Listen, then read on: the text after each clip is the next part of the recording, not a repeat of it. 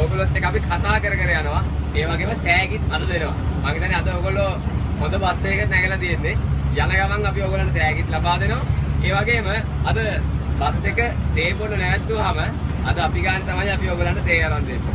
කට්ටියට තේ බීලා කතා බස් කර කර බොහොම සතුටින් සිරස රේඩියෝ එකත් එක්ක ගමන් කරන්න පුළුවන්.